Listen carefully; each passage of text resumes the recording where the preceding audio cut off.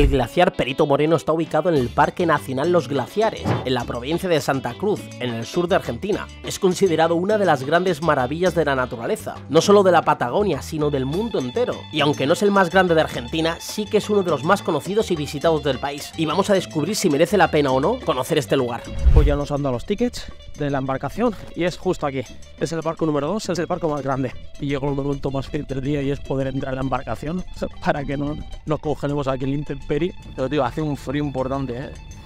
Y bueno, ya empieza el barco a moverse y mira como aquí a lo lejos se ven pequeños icebergs. Hay pequeñitos, pequeñitos y han abierto las puertas laterales, por lo tanto podemos salir y ver el glaciar desde fuera del barco.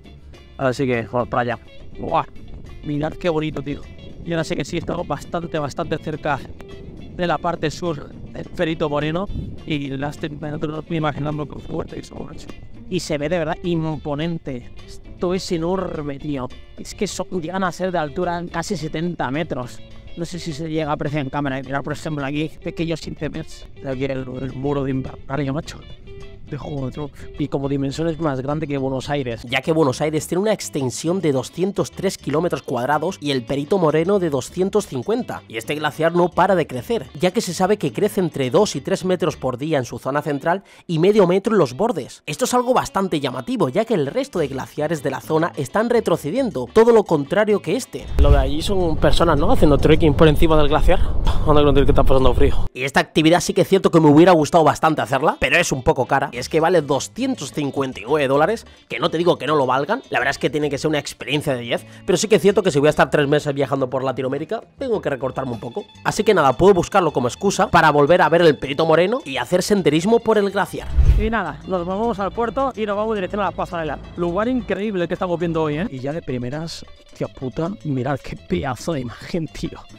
¡Qué locura! ¡Qué puñetera locura! Y justo del inicio de las pasarelas vemos que hay cinco senderos. Los más recomendados son el amarillo, que es el paseo central, el rojo que es el inferior y el azul que es el sendero de la costa. Eso sí que este es bastante más largo, así que te tiene que sobrar mucho tiempo. Y a nosotros nos dijeron que empezáramos por el rojo. Que vamos a tener que andar un poco más, pero bueno, que vamos, que nos va a sobrar el tiempo, así que mejor andar y ver todo lo máximo posible de este lugar tan maravilloso. Y como hashtag curioso, como he comentado antes, imagina 70 metros y 40 y es verdad que esta parte de aquí es bastante más pequeñita, son 40 metros de altura y esta de aquí es una parte más alta, 4,4 kilómetros. Ojo, cuidado, poca broma, 4,4 kilómetros. Y una cosa bastante importante es los animales que hay aquí, el guanaco, el zorro gris y demás, pero uno importante es el puma. Y es que, amigo, si te cruzas con un puma, la has cagado. Como dato curioso, nos han comentado de que no, por lo general aquí no suelen aparecer ningún puma, pero otro dato curioso es que la semana pasada apareció uno, que es algo bastante raro. Mira. Esto significa que está cayendo aquí una parte del glaciar, no sabemos de qué punto. Menudo pajarraco, tío. Hostia, mira qué locura. Mira qué grande.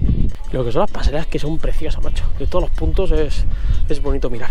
Y el glaciar Perito Moreno recibe su nombre en honor a Francisco Moreno, un destacado explorador argentino del siglo XIX. Moreno fue conocido como Perito Moreno debido a su experiencia y habilidades en cartografía, topografía y exploración. Contribuyó significativamente al conocimiento geográfico de la región patagónica de Argentina, realizando numerosas expediciones y exploraciones en la zona. Su trabajo fue fundamental para entender la geografía y la naturaleza de la Patagonia, lo que llevó a que este impresionante glaciar fuera nombrado su honor. Y en este momento me estaba quejando de lo complicado que era ver cómo se desprendía una parte del glaciar. Y justo mientras que lo estaba diciendo, se desprendió una parte. Eso sí, una parte bastante pequeña. Pero bueno, algo es algo. Y os dejo por aquí un vídeo de un desprendimiento que se ve alucinante mira. Mira, mira,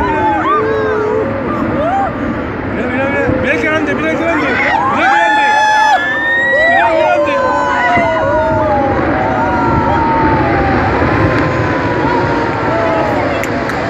Y desde este lugar tan asombroso me despido de todos vosotros. Ya sabéis que si os ha gustado esta aventura o las aventuras que estoy viendo por aquí por Latinoamérica os debéis suscribir al canal, activar las campanitas, poner un comentario refacho y bacano y todas las cosas que se suelen decir. Y recordaos una cosa muy importante que puede ser que se os haya olvidado y es que la vida, María José, Puede ser maravillosa. uh, no se lo olvidado, nene. Nos vemos en la siguiente aventura. Adiós.